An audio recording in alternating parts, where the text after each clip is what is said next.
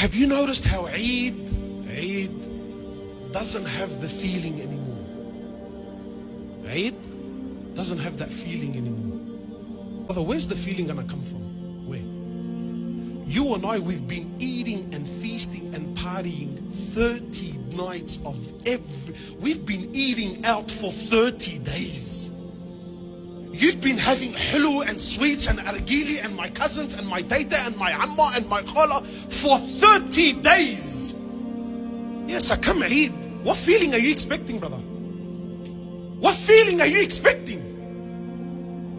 Come Eid. What do you expect? There's no, there's no celebration for you. You've been partying for a month. You've been partying for a month. Look, honestly, what do you expect to feel?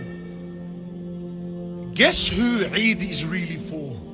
The guy that hasn't had a single invitation. He's been doing his Maghrib in the masjid, breaking his fast. He's here for Isha, praying his Taraweeh, monitoring, and he freshes himself for 30 days, 30 days, eating little, trying to push and push and push and push.